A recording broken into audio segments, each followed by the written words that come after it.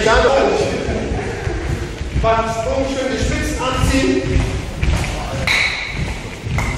Und fünf. Und vier. Und drei. Und zwei.